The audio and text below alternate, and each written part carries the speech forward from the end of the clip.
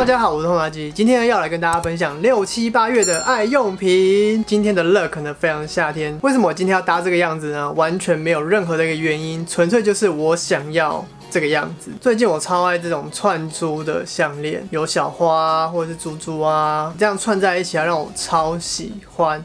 最近也很流行。好，那这次的爱用品呢没有很多，但是呢内容有点多，我们话不多说，马上开始吧。第一个来跟大家分享这个 WK Professional 他们家的许愿精灵沐浴系列。这三瓶呢，我最喜欢的是护发素。我跟大家说，我真的很少在跟大家分享护发的产品或是润发的产品。如果有，也是跟同系列的洗发产品或是沐浴产品合着一起跟大家分享。但我真的很少 focus 在护发素上面、护发产品上面。原因就是我之前的发质啊一直都不差，从小到大的发质啊一直都不差。虽然听起来很欠揍，直到去年呢，我的头发、我的发质呢竟然变粗了。然后我这么短哦，顶多再长一点点而已。我手去拨头发的时候，我手竟然会卡卡的，有的时候还会卡住，这么短哦。于是从去年开始呢，我就有认真在用护发产品。那这一支护发产品呢，为什么我很喜欢呢？为什么我很爱用呢？原因就是因为我觉得它很适合男生，很适合这种短发或是中长发，到这个地方我都觉得很适合，因为它的保湿滋润度没有到很高。但是呢，我不确定它另外一个用法会不会增加它的保湿度，因为它有两个用法。一个用法呢，就是我们平常在使用，就是洗完头发，然后擦上去，然后等一到三分钟，然后再用清水冲掉。另外一个呢，就是把头发擦干，然后再擦上这个护发素，在你需要加强的地方，然后再用护发机加热约十到十五分钟，然后等待一分钟之后呢，再用清水冲掉。后面这个护发机的这个做法呢，我没有去试过，因为我没有护发机。但是呢，就以第一个做法，就是最基本的这样的使用方式呢，滋润度是属于不高的。就是因为这个样子，我觉得非常非常非常适合男生。虽然说它的滋润度不高，保湿度不高，但是呢，不代表说它没有营养素进到你的头发。这两点是分开的，因为有很多人呢，觉得说。护发产品或润发产品，如果不够保湿、不够滋润，就代表说没有效。其实不是这个样子哦。保湿度、滋润度高的护发产品呢，不代表说它给予发丝的营养呢就会比较高。这支呢就是属于保湿度、滋润度偏低的，但是呢它又有营养价值的护发产品。像我都要用电棒做造型嘛，今天呢就是，其实这样长期的用电棒加热做造型啊，对头发发丝都是一个伤害。所以呢，我们平常呢就是要用护发产品去保养我们的头发，帮我们的发丝。我很喜欢这支的原因呢，就是它不会像润发产品或是护发产品，护完润完呢，头发会重重的，就是保湿滋润度过高，头发就会重重的。那你头发重重的呢，就是持久度会变低，然后会比较没有支撑度。然后虽然说会看起来，哎，蛮保湿的，蛮滋润的，可是就是你知道，对男生来讲。支撑度很重要，头发支撑度很重要，蓬松度很重要，轻盈度也很重要。因为你如果后续要做造型的话，这些呢都是需要拥有的。而且在台湾这个地方，真的潮湿又闷热，你的打底没有做好的话，就真的很容易出门没多久啊，你头发就塌了。所以打底很重要。那打底呢，不是除了就是你在做造型的时候，你可能。把你的头发弄蓬，或者是说用一些收干的产品呢，去加强你的发根之外呢，护发也是很重要的。那护发产品对我来讲呢，现在就是一个很重要的打底产品。它不只是就是我日常保养啊，然后让我的头发让我的发丝比较顺，不容易断裂之外呢，我觉得它也是一个很好的打底产品。尤其是这一支，我用这支护完发，发丝呈现一个蓬松轻盈，然后又有支撑度的一个状态。不会像有些润发产品或者护发素，虽然很保湿很滋润，但是呢，就是会塌塌的、重重的，更不用说做造型了，就是会影响到后续造型的支撑度跟持久度。但是这支呢，不会，我完全就是因为这一点呢，才把它拿出来跟大家分享的。那支撑度呢，不是只有男生很重要，女生也很重要。如果你是要做一些比较轻盈的，但同时发质又是要顺的，如果你的发质先天条件没有说到很好的话，就非得要用润发产品、护发产品嘛。那我觉得这一支呢就很适合。总之呢，我很喜欢这一支。如果你有这样子需求的人呢，可以考虑用它的这一支。那这个系列呢，还有另外两支，一罐是洗身体的，一罐是洗发精。那洗发精呢是属于控油型洗发精，这支洗发精它的泡泡是细致的，然后也很好冲洗，然后它的清洁度是属于中等，控油程度呢，控油度呢，我觉得也是表现中等，就是你洗完隔天呢，差不多可以撑到下午之后呢，就可以感受到有一点油光这样。但它洗完呢，不是属于那种毛躁型的控油型洗发精，它是属于比较偏顺的那一种。所以呢，如果你是很怕干的人呢，是可以考虑试试看这一个洗发精。那再来就是洗身体的洁肤露，它是属于比较偏保湿的那一种，不是属于你洗完之后皮肤会比较干。然后比较涩的那种不是，它是比较偏保湿，它洗完之后会有一点点滑滑的，但是不是属于那种很滑的。那这两支呢，香味的部分呢，我还蛮喜欢的。在刚挤出来的时候，它有个柑橘香，前调呢是黑莓、苹果、柑橘，中调呢是玫瑰，后调呢是琥珀。那中调跟后调呢，我就比较没有这么有感觉。我觉得它的前调呢的那个柑橘的呈现，我还蛮喜欢的，而且它这个香味啊，我觉得男生女生都很适合，就是比较偏。中性的，然后他们有给我一个专属的优惠网址，里面呢有很多组合。如果你对这个系列有兴趣，或者是说这个品牌的产品呢有兴趣的话呢，就可以点进去看。我把网址放在下方的资讯栏。我跟你们讲，这次爱用品类型啊，真的有点凌乱。接下来呢，我来跟大家分享我这几个月都在使用的一个运动的东西，就是这个电子智能跳绳。它上面是有。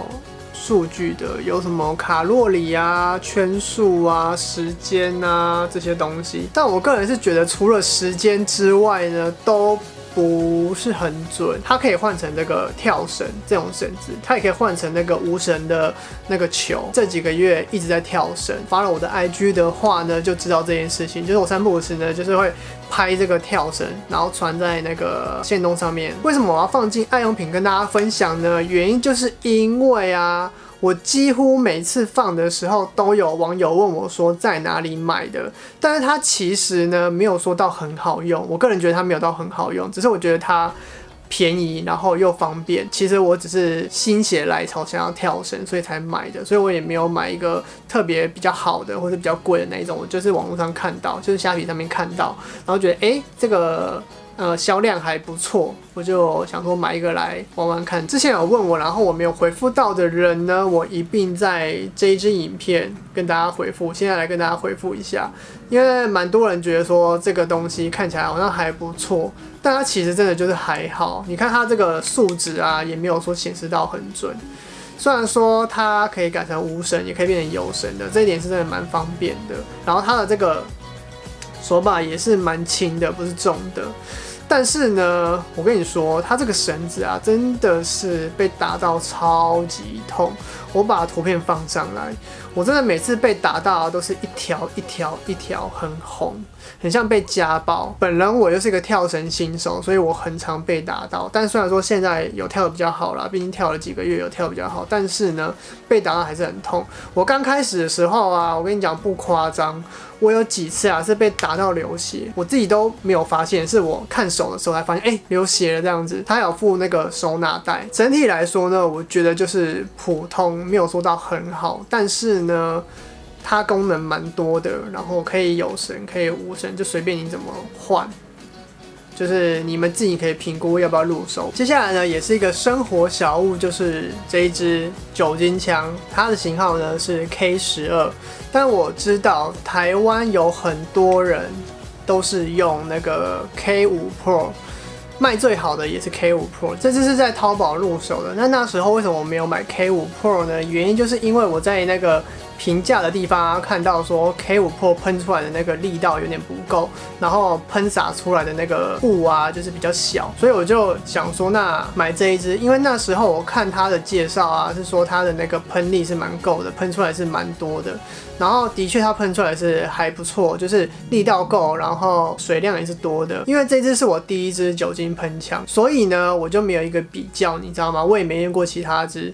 那最近呢，我又在虾皮上面呢买了一支 K 五 Pro，因为我想说，怎么大家都在推 K 五 Pro，大家都说 K 五 Pro 很好，然后销量又是最高的。我跟你们说，实际用下来啊，我觉得这一支真的比较好用，K 十二真的比较好用，而且好用很多。K 五 Pro 呢，它的力道呢，真的就是稍弱，喷出来的量呢就是比较少，它是比较雾没有错，但是它一喷的时候呢，比如说我在喷手的时候。它需要停一下子，你的手才会有那个湿的感觉，不然你这样直接放上去，你就会觉得好像哎，有喷还是没有喷到这样。就是用它的时候呢，我真的是有点困惑，就是说我到底有没有喷到？但是这一支 K 十二啊就不用，你可以速度很快，就这样一喷过去，然后就喷到，然后也有湿的感觉。就是以效率来说呢，我觉得它的效率呢远超过这个。K 五 Pro 真的是超过太多了，而且 K 五那么大一只，然后拿起来呢，我觉得这只也是比较顺手，也比较轻，所以这两只比起来呢，我会比较推荐 K 十二啦。如果你最近在找这种喷枪的话呢，你可以考虑 K 十二。但我发现一件事情，现在好像有 K 六，但我不知道 K 六好不好用，因为这个喷枪啊有太多的型号了。这一支呢，我是真的觉得还不错，就是以这两只比较起来的话，接下来的这个东西呢，我觉得是很做作的一个东西。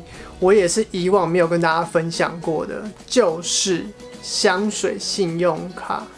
我没有在跟他们家夜配哦。这个香水信用卡它是蜂巢式香水信用卡。老实说，我真的不知道有这个东西。我是最近在查要办什么卡的时候呢，发现哎，怎么有这种香水信用卡？那以往的香水信用卡呢，都是属于那种固定香味的，比如说巧克力香味啊。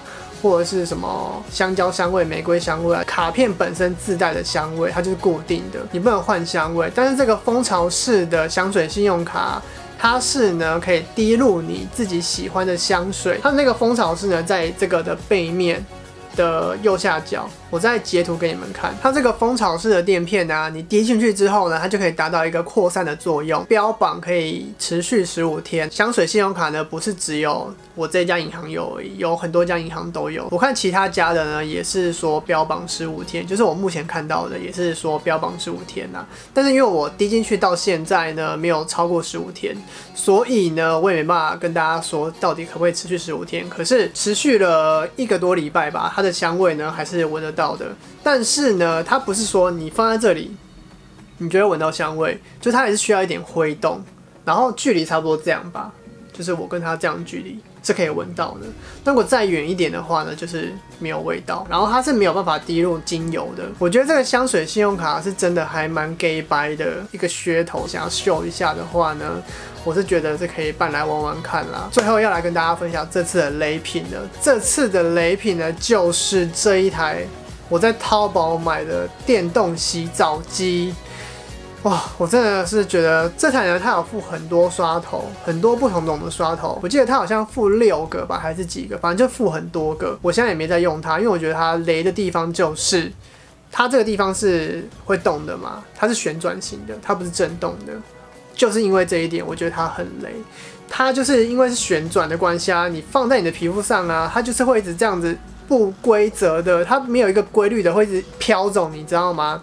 它边旋转边飘走。我开给你们看，它有五档还是六档？这个是一档、二档、三档、四档、五档，然后六档，对，再就没了，就是有六档，嗯。好，然后我用六档给你们看，比如我在洗的时候啊，你看。它就是会一直跑走，你知道吗？你看有没有有没有没有？它接触到皮肤之后，它就是会一直乱跑，它没有办法就是乖乖的定点洗。那它要怎么乖乖的定点洗呢？就是你要用力去压它，它才会比较定点。可是因为它是旋转，它这样子去洗的时候，其实你的皮肤是被拉扯的，而且是被扭转拉扯的，你知道吗？我就在想说，如果是这样子洗的话，洗久了我的皮肤会松弛，你知道这一台雷的地方呢，就是因为它是旋转式的。如果它是震动式的呢，它就不是一个雷品。我觉得你们以后要买这种洗脸机啊，或什么洗身体机啊、洗澡机啊，一定要看清楚是震动的你再买。如果是这种旋转的啊，真的不要买。我真的就是。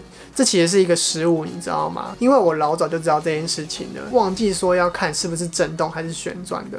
而且旋转的，啊，我真的是觉得现在应该没有人在做旋转的这种洗脸机、洗澡机吧，都是震动的。所以其实我没有特别的去看这件事情，因为我觉得现在就是没有旋转的，旋转的真的是比较早期的洗脸机才会出现。亏它还有这么多的头，然后它的防水效果也不错，然后又轻。就是你这样拿的时候啊，你不会觉得酸，就是它各方面我觉得都不错，就是你知道最重要这一点啊，真的就是失败就是失败在这一点。为什么要做成旋转的？现在根本没有人在做旋转式的。总之呢，它就是一台很雷的洗澡机。我可能把它拿来洗地板吧，很失望啦，这个东西。亏我还蛮期待拿到它的，结果拿到它就是失望。好，那以上都分享完了。我发现我戴这个草编帽，脸看起来好小哦。我好像很少穿这样子跟大家见面。近期呢，还蛮喜欢的一个。穿搭感觉，这个呢是真的让我很喜欢，我买超多条的。